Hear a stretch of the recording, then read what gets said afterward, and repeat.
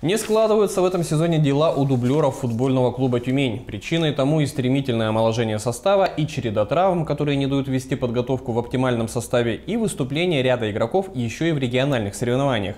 Вот и отчетный поединок 1-4 Кубка России среди любительских команд против Мясского торпеда прошел не по тюменскому сценарию.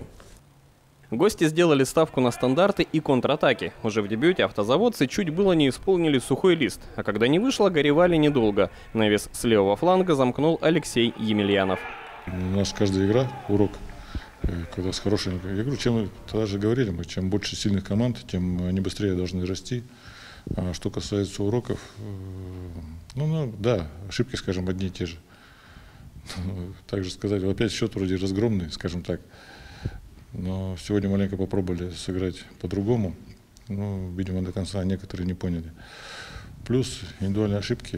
Не скажу, что прям солидное преимущество. Но такое ощущение, сколько голевых моментов было, столько команда и забила.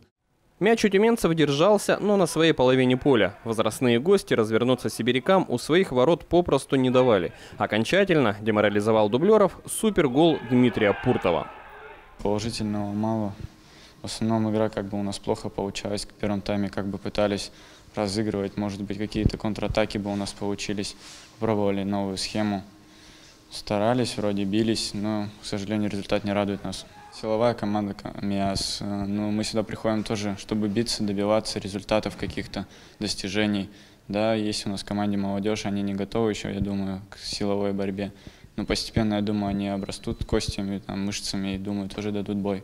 Не задалась игра во втором тайме у голкипера Камиля Аюпова. Дважды он слишком далеко покидал свои владения, за что был нещадно наказан сначала Анатолием Семеновым, а затем Артемом Логовчиным 0-4. Чтобы хоть как-то наладить игру между защитой и нападением, Евгений Маслов выпустил на поле Андрея Павленко. У ветерана клуба молодежи есть чему поучиться. Правда, есть одно «но».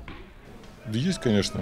Ребята что-то черпают, но, скажем так, не сильно. Тут, в общем, тренировочный процесс, скажем, отличается, чем в команде. Там все равно э, равнее, и даже что-то они хотели бы, может, подчеркнуть, но не позволяет, скажем так, даже элементарное техническое мастерство исполнить тот или иной технический прием. Под занавес встречи хозяева были несколько раз в шаге от того, чтобы провести гол престижа. Но собственная неточность, голкипер торпеда и фортуна удержали ворота автозаводцев на замке.